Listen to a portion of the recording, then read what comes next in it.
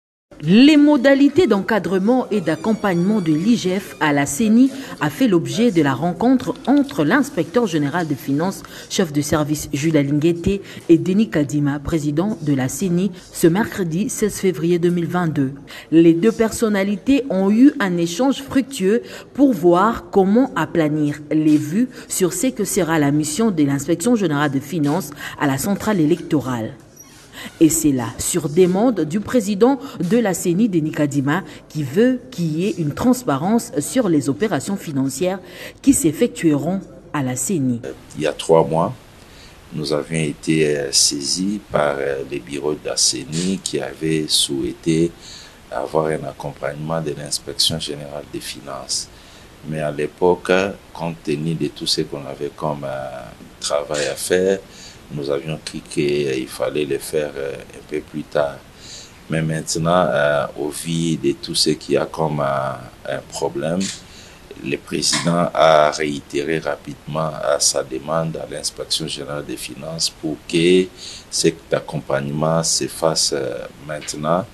et dans le seul but de garantir la transparence de toutes les opérations financières que la CENI est en train de faire.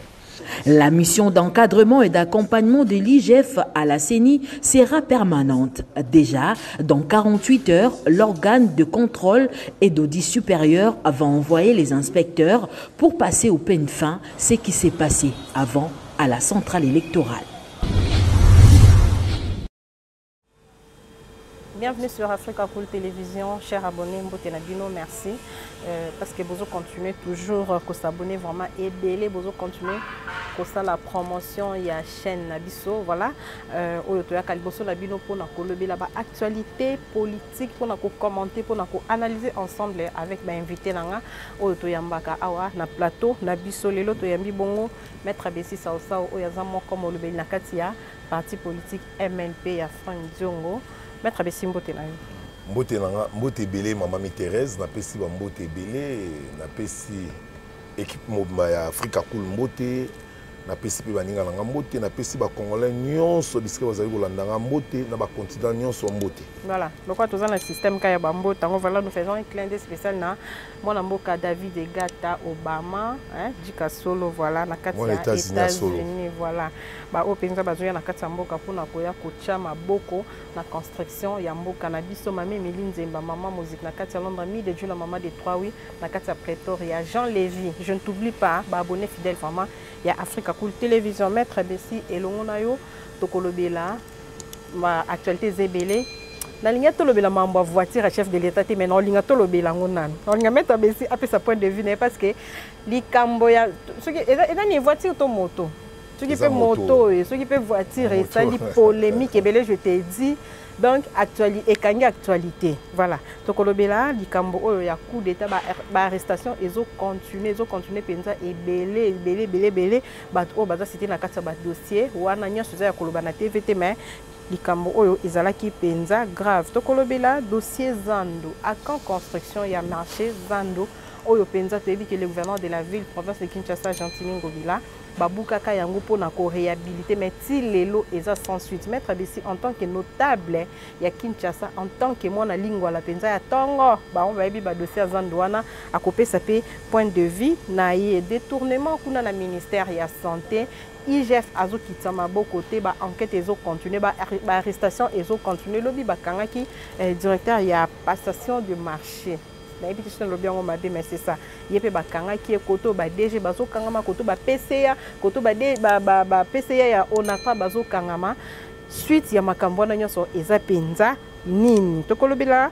leve ya couvre feu awa na ville province de kinshasa ça fait vraiment polémique toyebi te congolais alingaka nini balongoli couvre feu ça va balongoli couvre feu te problème voilà maître besi mpe akopesa point de vue na ye tokolobela mpe marche ya bagarde républicaine oyo esalamaki weekend oyo awa na ville province de kinshasa motu na moto azosala analyse na ye bamosusu balobi c'était une bonne idée bamosusu balobi ezalaki malamu te bolandaki euh, même maître joel kitenge na nzela ya bamicro na biso ye mpe apesaki point de vue na ye maître bespe akopesa point de vue na ye conflit entre hein, denis kadima et puis nicolas kazadi ezokache nini conflit wana kani ebandeli boye seni abandi deja o mbongo na ana mbongo te eyebebe eh, estce eza stratégie mpona komema biso na glissement to ndenge nini maître besi nakolinga tobanda na polemique oyo esalami autour ya euh, ya tricycle ya tricycle oyo chef de l'état atamboleli nango mokolo ya week-end est ce que c'était une bonne idée en tant que chef de l'état garant de la nation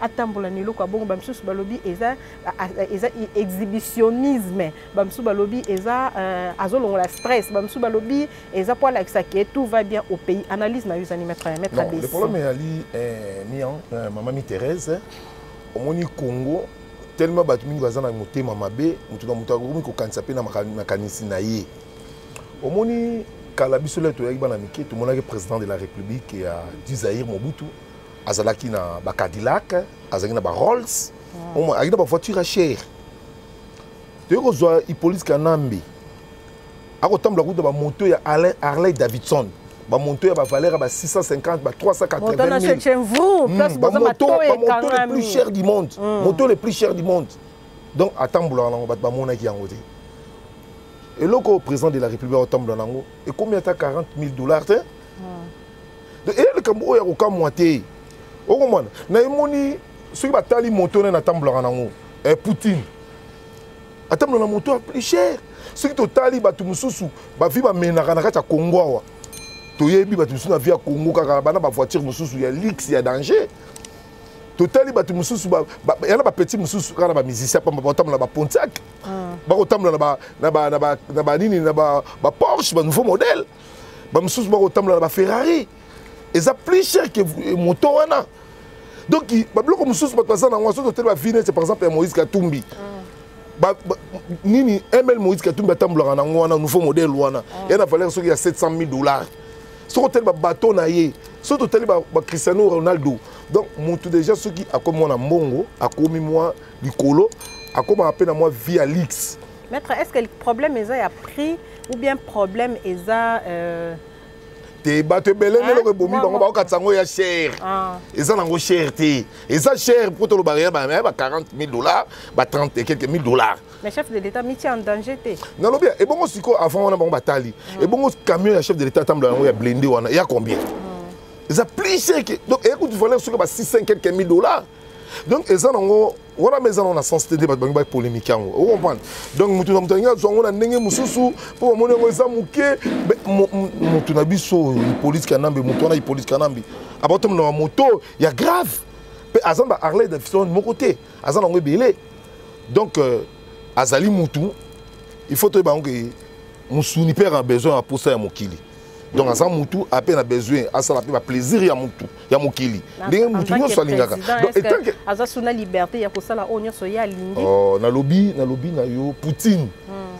poutine ayeba abima na moto ya 4 ya 3 pinete poutine atambola nango wana eloko na sens moko te nabi hippolite kanambe atambola batambola bamoto ti ba harley davidson hmm. balobelaki yango te hmm. nakokotela félix te nakoloba naza mpe membre ya idps te mais nakoloba kaka etant que congolais tokomona makambo mosusu tokoki kolandelaka yango te ya bafitilité moko boye donc moni aza chef hmm. quand même aza na baplaisir na kosala tomonaka mpe bato mosusu baprésent mosusu ya bamboka mosusu omona azwi baorbor na ye akende na kati ya mai baorbor ashere akotambola akosakana na yango aza mutu ebongo ya robo aza mpe na ntango oyo akoki kosepelisa nzoto na ye ombani soki mpe moesengi amela masanga ne akomela mpo azali mutu mm. mais bato kaka na congo bakomi kozwelaka ndenge mabe surtout kabila koloba na bato omoni opposition ya congo lelo mm. ekomi opposition ya kimotema mabe opposition lelo ya congo eza so opposition oyo ya bapapa ya tia tisekedi bazalaki nango te mm. tomonaki mobutu azwi problème ya matanga tondimaki te me tomonaka etienne tisekele alandi mobutu ntina guado ake batali ye basololi opposition eza teke bokomi binemi marke opposition lelo ekomi opposition lelo tokomi omema ngo lokola binemi mm. tokomi bango ba haine soko te lelo ata lelo fayulu azwi problème mokomona mpe kote présidence mpo akende tale bakolinga te hmm. soki mpe président azwi problème mpo fayulu akende ekomi problème tomona meme na matanga papa etienne fayulu il se disait hmm. eh, anda olobaki papa etienne aza mentor na ye mais na hmm. matanga tikala ayaki te tomonaki mpe suba buzoba esalamaka mokolo ya matanga mobali ya eve bazaiba mm. yo momonaka buzoba elingi kosalama na mm. opposition na bato mosusu donc ezali toza na démocratie moto na moto azali na choix na ye oyo akosala mm. mais tozala yango na ndenge yaki motema mabe te tozwaka makambo mosusu te tolingaka yango ekoma makambo moko ekoma lokola grave maki bato bakoma kokomisa yango grave donc na mokili oyo tokovanda boye il faut toyebake opposition opposition alika moto oyo akoimpose vers gouvernement mpo mm. opposition akolinga nini gouvernement afonctionne bien te mm. mais pouvoir mpe akolinga nini atravaille mpo mokili emona endima ye mm. donc soki totali bien rankine ekozala nango ezalaka vraiment wana te mm. soki totali eh, baopposant français lelo biso komona bakosala badebat contradictoire bavandi basilisi bapesani mbote baseki tomonabango nyonso basangani mais yango nalobi noke Congo nde ki motema mabe eleki trop. Mm. Moi mboka ya avancer ya te pona ni tozana likundu. Mm. Bato mingi baza na motema. Yo kati po mboka ebonga, il faut biso moto bongisa motema te. Mm. Yelo ba sud africain pour l'Afrique c'est comment bazala ki uni. Mm. Ba minde ba konyo koloba bite to kanga mato zana bo moko to sunga mboka na biso. Mm. Mais biso awa ekomi lokola ki motema mabe. Donc okomona opposition ba ko linga. Donc soka yoki ka likambo aliki surtout ba jeunes ebele ebele ba lexi ba komoleka na ba télévision. Mm. bakomi kaka kolukaka bapolémique o oh, chef de l'état asalaki boye o oh, basalaki boye alati montre boye oh, ebongo sikoyo mais esala eloko te ebongo mobutu mobutu ezalaki na bamontre mosusu mobutu ezalaki na barolex mosusu les biso to mike eyaki na bamonta combien hmm. mobutu aorganize koma ya ali na foreman hmm. combien ebimaki donc omoni babiloko wana babiloko mosusu tokotalaka yango te donc tolinga nini mboka ye avance obi mpasi ya congo mm. eza souffrance na biso nyonso donc omona lelo ke tokopesa exemple ya mosusu okomona gouvernement ekosala makasi mpo bapeuple balia opposition akei ake kosenga ke no boyede bango te mm. omonaki biloko wana neti papa na biso mozito mm. leur président de la république baosala ke no baopérateur économique ebaya ye mozito akei alobi yo no o te boyede bango te mais ya bosani ke ye a travailler na Hippolyte Kanambe ya yiba est-ce que euh, problème wana maître euh, maître euh, pardon par maître Bessi eza likambo ya mentalité oyo bakotisa biso na mutu et pas ba politiciens oyo bayaki avant le problème est omoni ministre moi azalaki comportement mm. ba ba comportement mm. il faut pas changer comportement mm. mboka ekobonga te ekotongama te na kisongisongi na koyinana mboka ekotongama na bolingo biso na biso tozala na bolingo me ekoki kozala bato mosusu bakangi bango bamisusu basepeli mm. yo monaki le bakangaki biso bamisusu basepeli babia yabaki ekosouffrir bino moko na na opposition boyokanaka te mm. ata biso mpe nde tozalaka na opposition toyokanaka te na gouvernement bango mona bango bayokanaka te me mboka ekobonga ndeni il faut bolingo ezala na mboka mm. donc bato balingi balingi mbokapase à l'essentiel eh. kipe oyo eza l'essentiel oyo komema développement ya mboka eloko tokotala tokotala ndike a ah, te koto ifo batonga mboka mm. peuple alia ekolo etongama donc biloko wana tokoki kotelemela yango wana babiloko ya mike mike na biloko ya pamba pamba wana Ce sont des futilités. Merci ah. beaucoup, Maître Abessi. Toi qui n'es pas le euh, processus électoral, Yambo Canabiso, Maître Abessi, polémique moko ebotami penza makasi entre Denis Kadima na ministre ya finance Nicolas Kaza Denis Kadima aza président ya CENI oyo bauti ko installer bango récemment et pas euh, assemblée nationale ya mboka na biso koto oyo denis kadima alobi jusque la nano azwi mbongo ya koorganize baélection te koto euh, ministre ya économie ya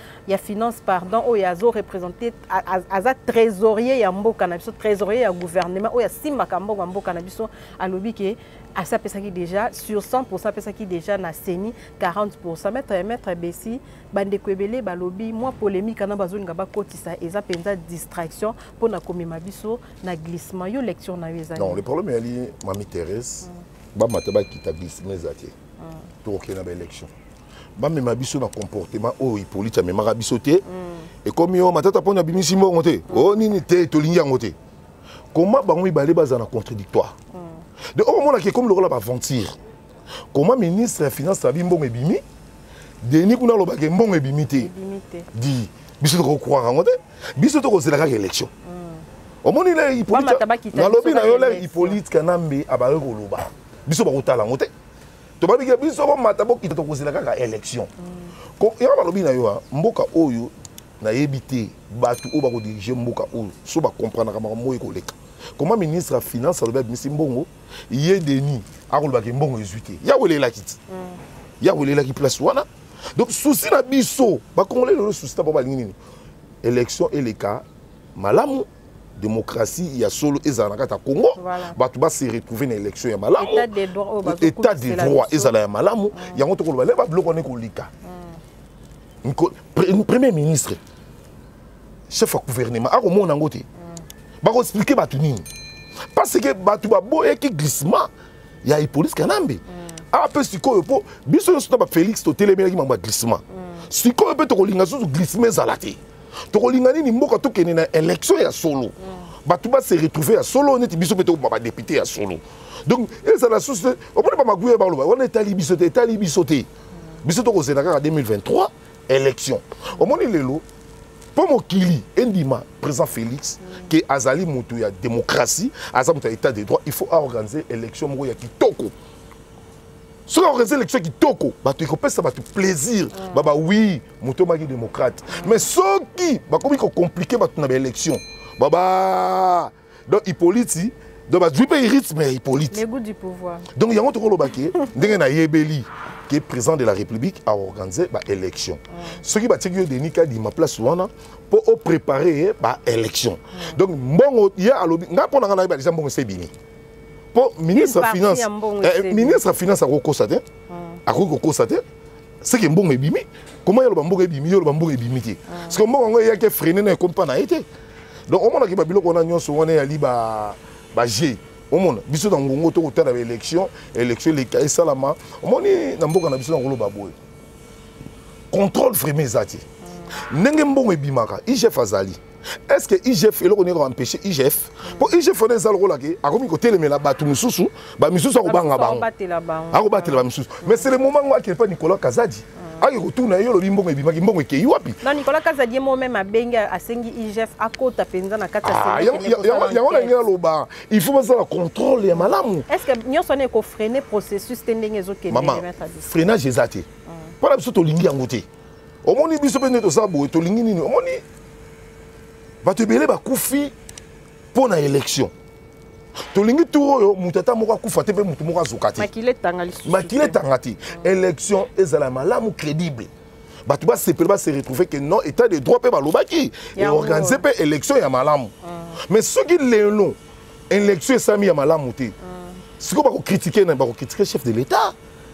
donc place wana chef de l'état ifo azala prudent alakisaka ye azali mwana ya kono etienne tshisekedi mm. motu oyo alakisa biso état de droit donc yango tokoloba ke non igf akende kosala mosala ayeba ke mbongo ye alobi na finance ebimaki mpo c'est le moment yango omoni élection oyo elekaki na 2018 ipolisi bakokosa biso ti ah, mbongo eza te mais pression pression tomona mabo élection esalami ata ah, esali mabe mais esalamaki mm. mais na moment oyo ti tokóma na 5 ans comment pas bo organiser ba élection donc congolais aza na souci élection ezala malamu bato bavote mm. bavote oyo ya bango donc euh, batikela biso badistraction wana nicolas kazadi na denis kadima owelelaki place wana ya seni oyebaki te place yango ezalaka bongo eh. eh, ye awelelaki te ayebaki te place oyo ezalaka nana bandi olela te abandi olelaka avant boye hmm. denis obandi ke kolela avant kolela nanu te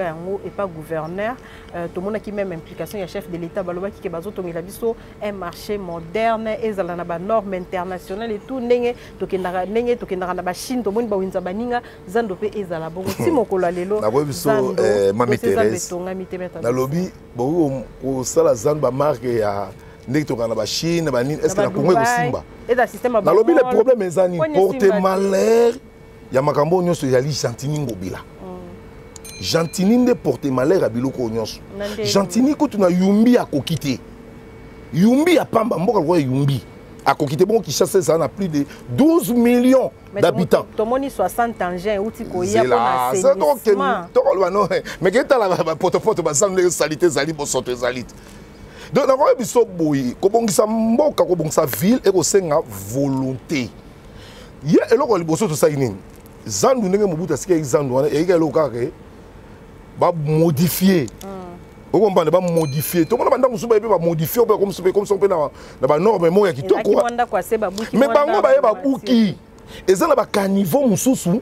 oyo deja basalaka yango bien avant eleka ti na se baimmeuble ekenda ti fleuve mm. deja baye bakota évacuation ya mai bakomi na problème mpo bato tout autour ya zando bato batongi bandako tala eloko ye asala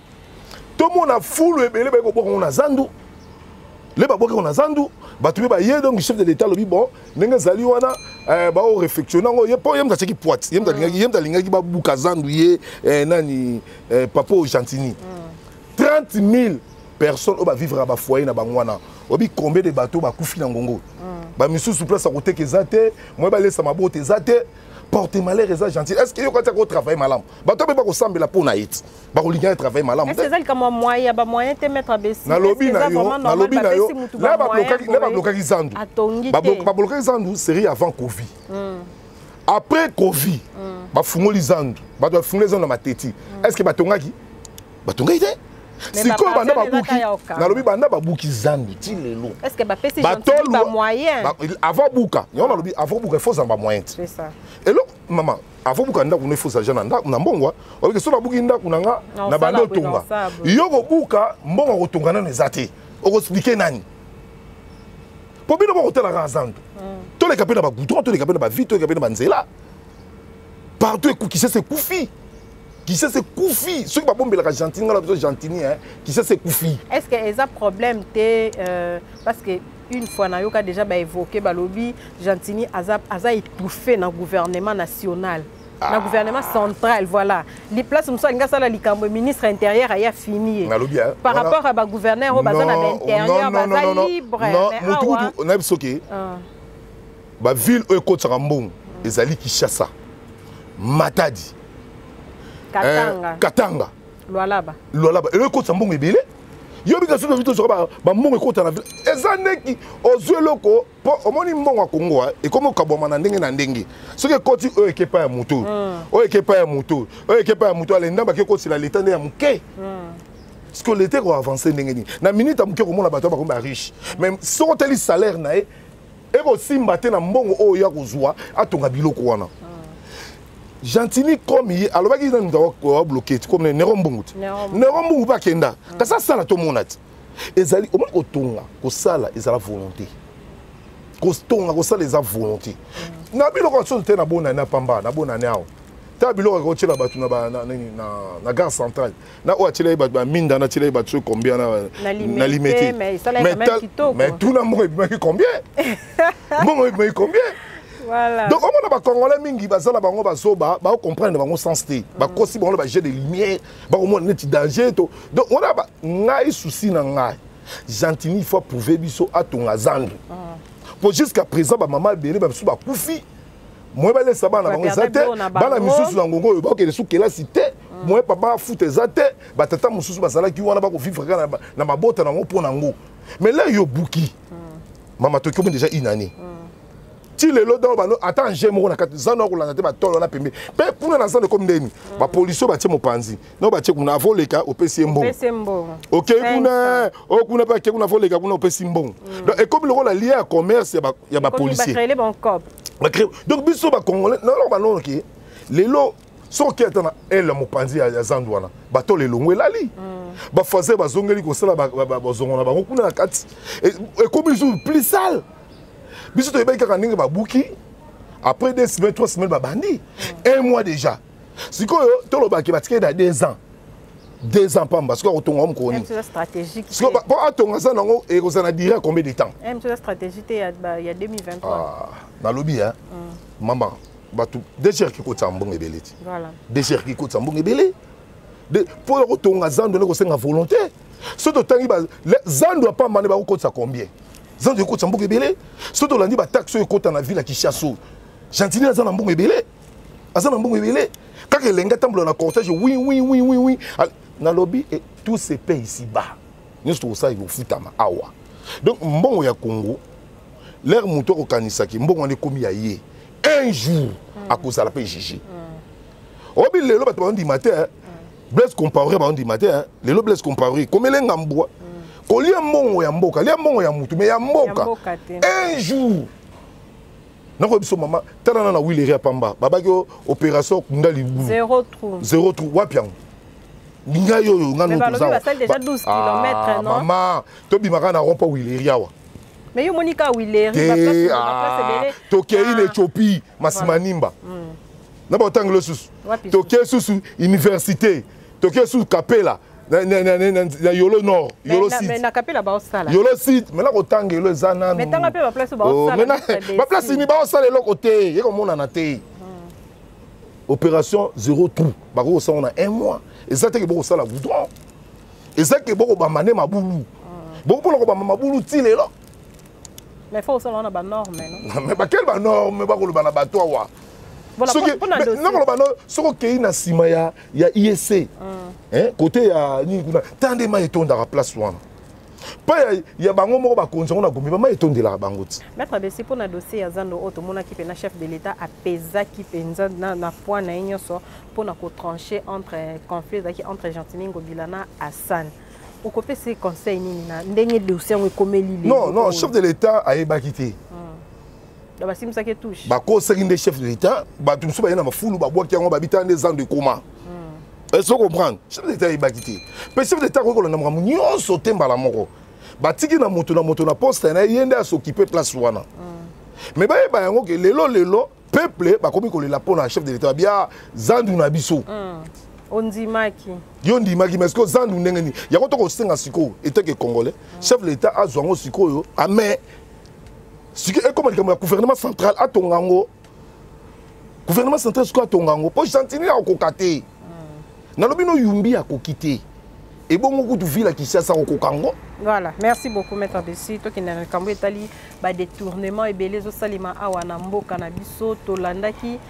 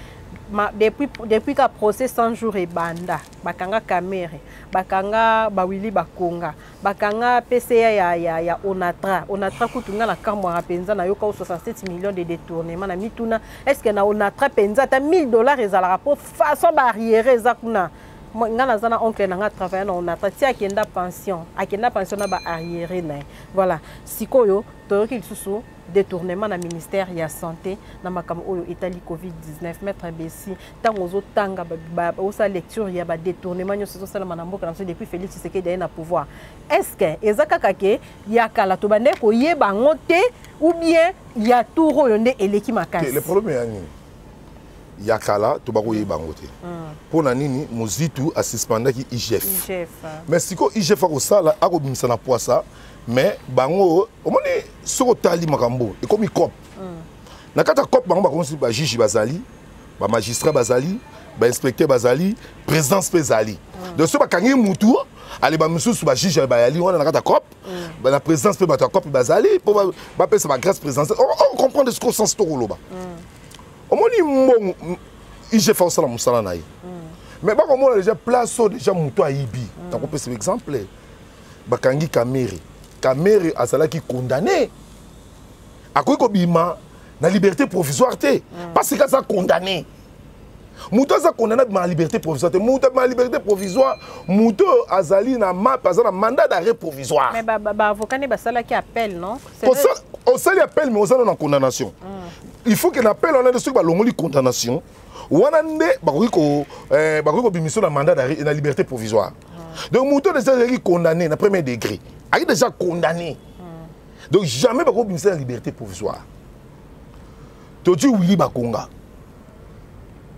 2000 abimi na grâce présidentielle toti peti oyo ya ovd pecho pdg ovd ko bakangaki ye to amoyibi apeti ko moyibi ti mama ngai nasimaka ngai nakokufa so nalobi nakokufa so nalobi nakokufa malamu ngai naloba nakufa peti wana ayibi akei des ekoki bakanga basambisa mosengimona bakamere ti oyo ya foner eh, foner eh, abima te bon sikoyo état de droit ezali mpo bato babima bayibi na bango yo lobi ekomi nde cop hmm. donc sikoyo mpe eza motu so abibongo nga mpesi na signe nayibi na nga nalesi déjà bamagistrat bajuge banini tututu na présence lelo nakokoma kuna le grâce présentielle nabimi tolandi euh, igf Euh, Gilles Alingete azolela kasi yango na toko tokóma siko place yango ah. est ce que bakoyeba ke bakotia Gilles Alingete wana na danger bakotia na danger soki tokei mama nakobisa yo ke ministère ya santé ah. banda ete longondo ah. bakangi ete longondo asali kaka deux jours est ce que mbongo ete longondo azwaki ezonga yango nalobi na yo boye mbongo oyo ekobima na ministère ya santé tozwi kaka makambo ya covid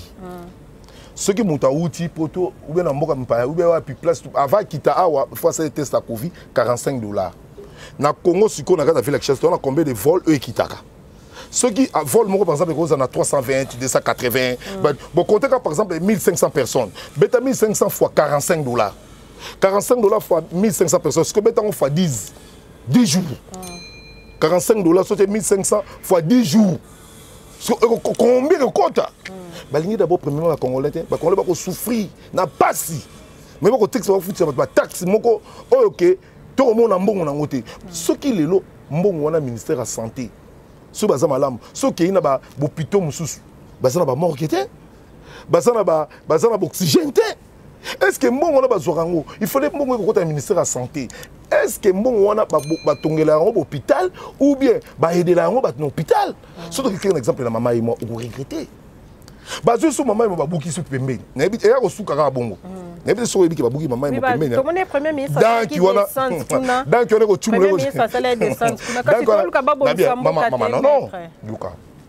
terrain bana lingua la pelz terrain na bundele na mona pasi mm. bango balongoli ba poto poto ya argile est ce que argile ba ko on a terrain bale ba ko on a terrain bale siko bale yele moye ba to beta ma bale ezate e, e komi bloqué lobi lobi ko mona ka etikali bongo siko mbongo oyo to ko yoka wana ba 300 millions wana mm. mais 300 millions ne ko ko tonga combien d'hôpitaux kasi yango bake bongisa mama ye moti ah, mama ye moti miroir Eh, omoni bien te basala eloko te kutu hôpital na biso moko 51 ipolice kana bajango kabila yango bachinois na baindien maître est ce que biso moko mpe bacongolais toza bapessimiste te yo makambo yango nalobi eh, nalobi boye te kokondanaka bapeuple congolais te kondanaka nde baautorité oyo na miyibi bayibaka mbongo mpo na inte obi lelo soki tabeli hmm. bango so bato babeli bakende bango afrique du sud eh. hmm. bakende bango suka états-unis mais ngai nyonso tobetokeka mama yemo mpo hmm. 51 okende te kuna trop cher toke kaka mama emo tokosuka kaka na mama emo toke kaka na bopital oyo ya mike mike mais il fallait babongisa na peuple bopital wana na mbongo oyo bakozwa nalobi nao bakocumula babulu bakocumula biso mabulu mai bakotika yango bongo eloko te zero ah na bino pasi donc omoni pasi ekomi likolo ya pasi obike peuple kolongo akobi na méchant grave donc tokoki koloba te ke soki mabe ezali tocourage te hmm. biso tokoloba verité tokopanza sango tolekana na betando mpo peuple ayoka il faut toteyaka peuple mpe tosololaka na peuple mpo nini ezala malamu ya peuple hmm. mais peuple akose retrouve te hmm.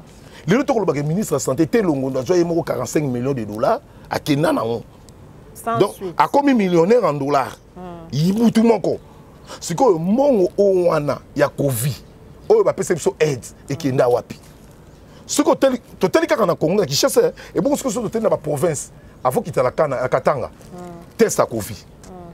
kisanga test ya covid partout test ya covid mbongo ekokota ebele ekokende wapi bakotyala jilingete wana na mpasi bakolinga nde baboma ye eh? hmm. soki ngai jilingete wana na kodemissione na nga alingete wana mpo awa kati yango blage ngai soki ngai na kodemissione mpo bato mpe bakomomonaka yoko mokosala bavanti bakomona ete ye pakominaka ta cope hmm. soki bongo ademissione na ye koma yo kokanga bamiyibi bamiyibi yango bakose retrouve bakoma libanda natali kutu wili bakonga akosenga soki azonga ye ata nga moso namoni na okanga ye oh, omeme oh, wapi justice ese libere nalobi ya justice elibere mm. soki azongisa biso bapeuple moko na biso lelo omoni lelo confusion koti lelo bana bakomofuta omoni lelo mosu na biso ndeko ya mpasi mm, président de la république alobi gratuité chef de l'état alobi gratuité premier primaire ti na sixième septième na huitième bakofuta te est ce comprend mm. ekoma na moment moko boye o oh, makambo ya ram o oh, ram wana nde moto ye couvrir gratuité est ce comprend mm. sikoyo nde tokoloba boye bana na décembre balobi bana bafutaka 7e na 8e bopertibe déjà baprogramme ya baparent nde nakobisa yo sikoyo na ngongo okozonga bango na 480 dollars soki wana bana 5 combien sikoyo mbongo na biso ya rame biso babola na basoda na rame bokokata bango tala bato baza mitema mabe graner aki motema mabe sikoyo rame wana nakopesa exemple kaka totie susu te rame rame na cope ya covid ekomi eh, ya lokola cope test ya covid na rame mpo mm. motu moko so okati ye 2 dollar so aza na 2 telefone 4 dollar sikoyo toza na combien de téléphone likambo ya rama balobaki ebanda okataka na batelefone mais biso tokamwaka ntina modem otie mm. crédit na modem boye mm. bakati o oh, ram mm. en tout cas likambo ya ram wana chef de l'état so afongeli yango nalobi na yo eloko wana ah, ekoyinisa chef de l'état eloko ya ram wana ramu balongola yango mpo hmm. hippolite kanambe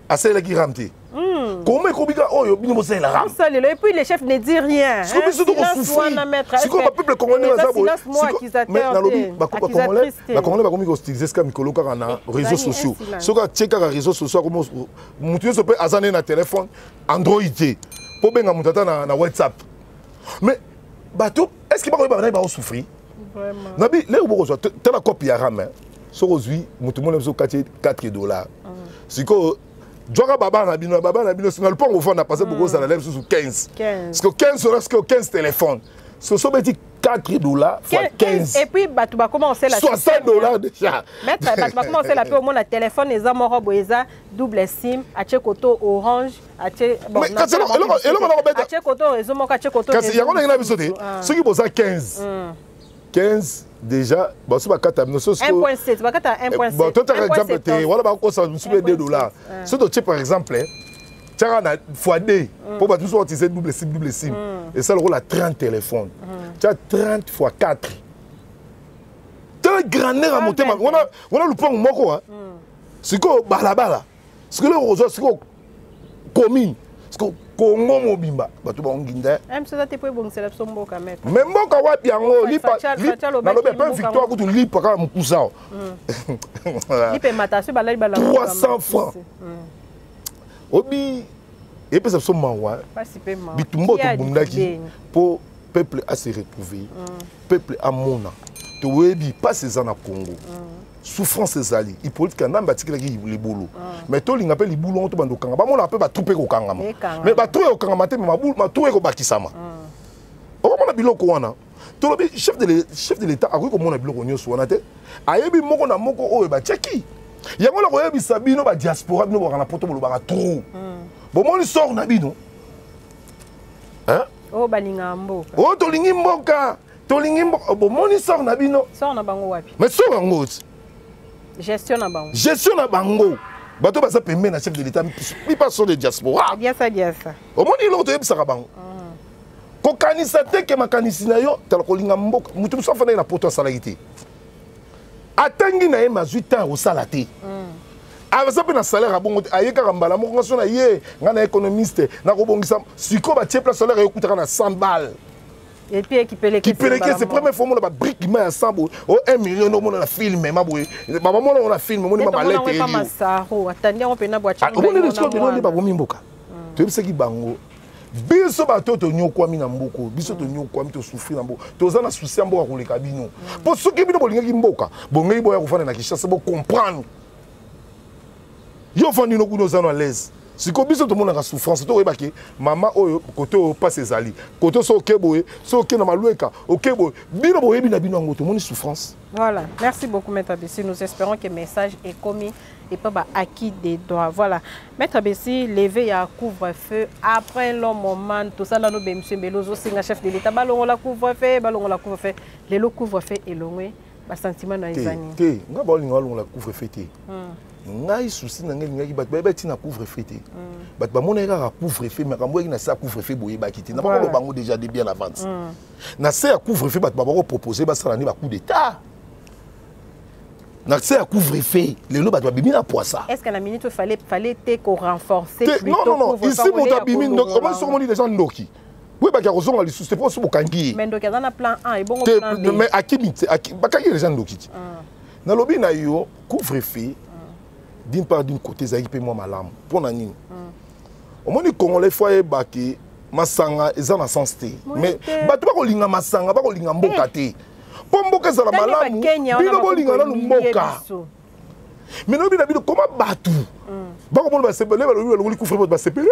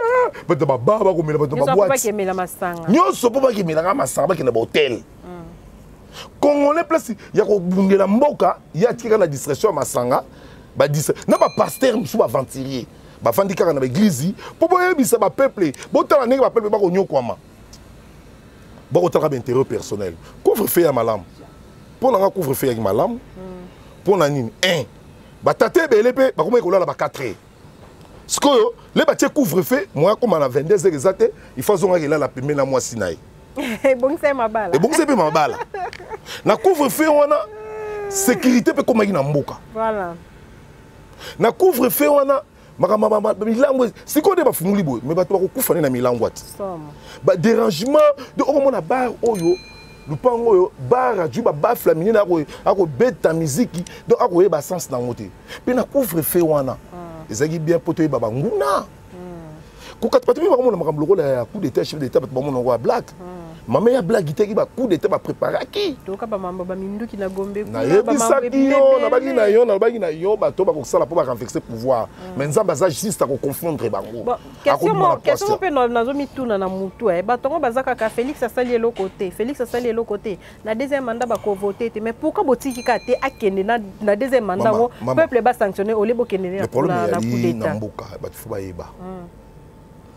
biso le to ba musa Hippolyte Kanambe hmm.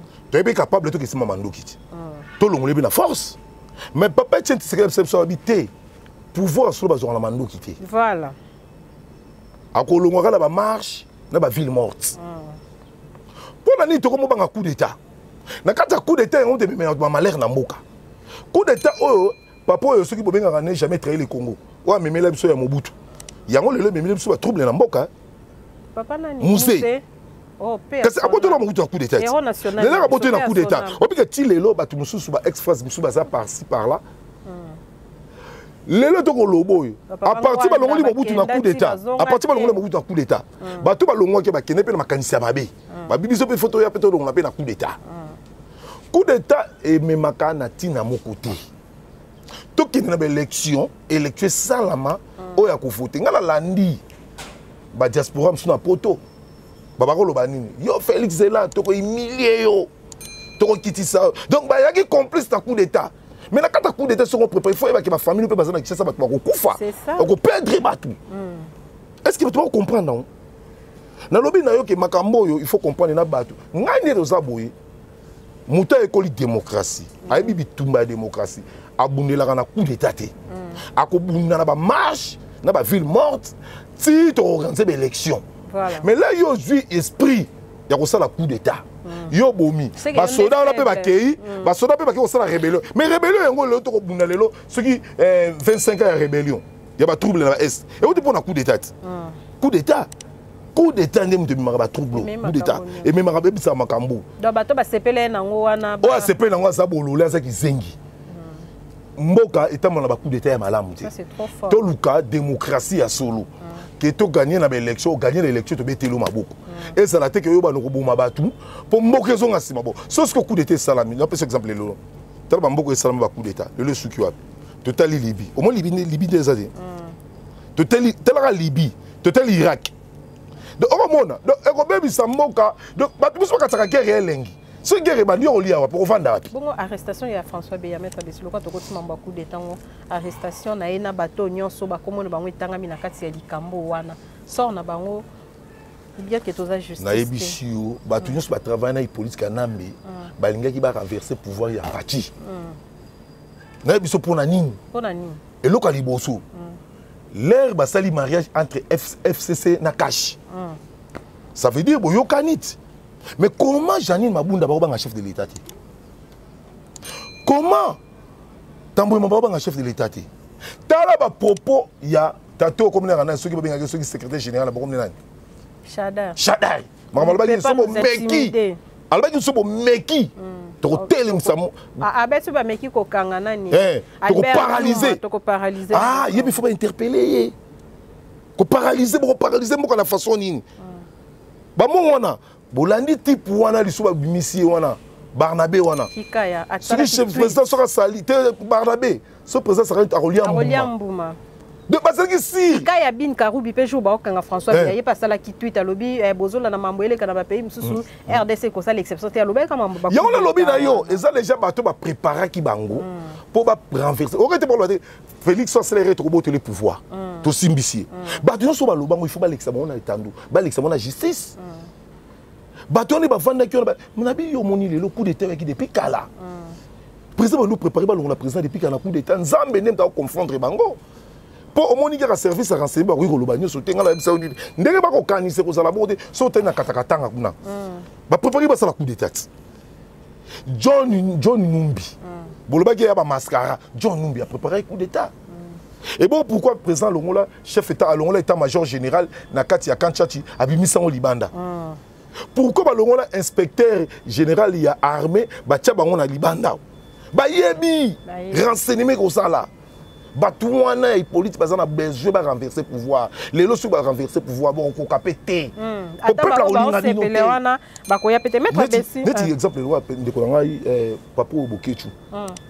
Boketsho alobi ya yo présent Félix yo toko humilier yo. Seki yebaki na complice ya coup d'état. Oh. Mais na koloba alobi yango boye.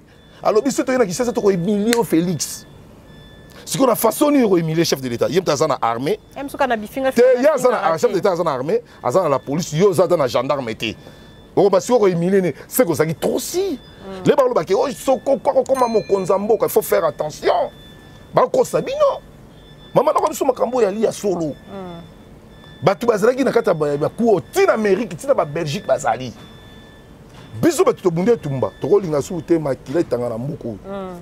tokende élection moni na telemi bona élection na bi tokokende na baélection mm. oyo akopona maponami mm. mais tolinga bacoup d'état te voilà merci maître bessi euh, point de vue na yo par rapport ya marche ya bagarde républicaine oyo esalamaki week-end oyo euti bongo koleka eh, eloo na koyebisa wa mike thérèse eh, congo babi facha obanga coup d'état yango ah, alakisi force na yo wana nde bato bakoloba na biso kongo eh, mm. bamakasi na kokosa omoni biso nde tokokola eh.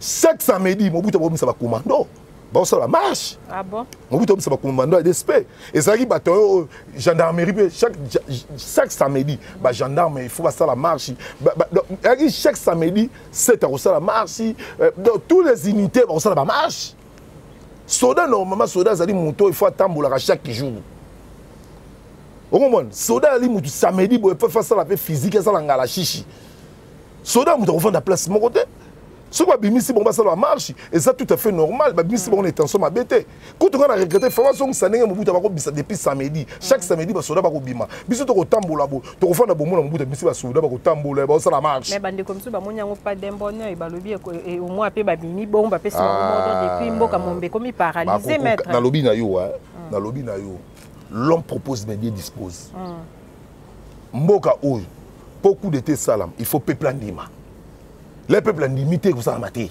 voilà moto aleki peuple na force aza te mais peuple alelo akomolinga élection pourquoi peuple aoréclame kaka élection tolata bacoup d'état lisusu te Voilà, merci beaucoup Maître Bessi. Euh, je crois que awa nde tosilisi entretien na biso mokolo ya lelo mot de la fin, mot de la fin.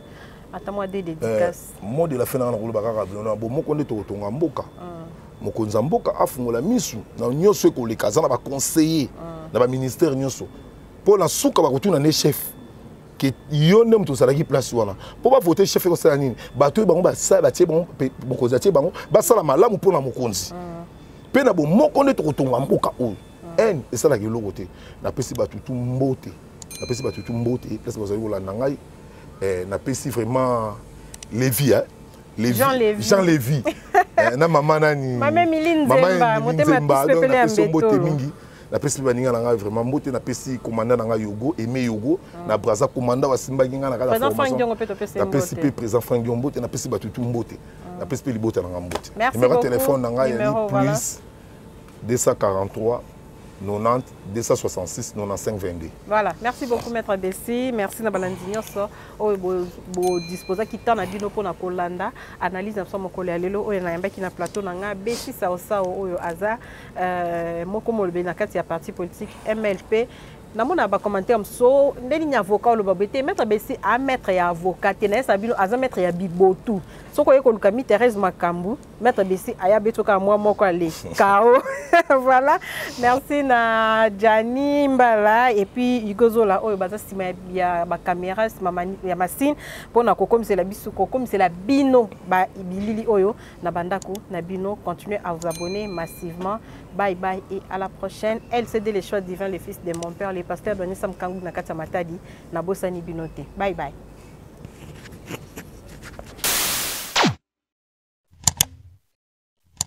Africa cool, et eh, ben cool, Africa cool, et eh, ben cool. lokola kul matopi en tout cas euh, eza chaîne ya bien et puis boza très rapide eh, eza très rapide eza chaîne moko bakosala bino confiance en tout cas nazosenga na bato oyo nanu basuscrire te bazwa donc eza vraiment neti oyo balobaka ke buka lelo lamba lelo lia lelo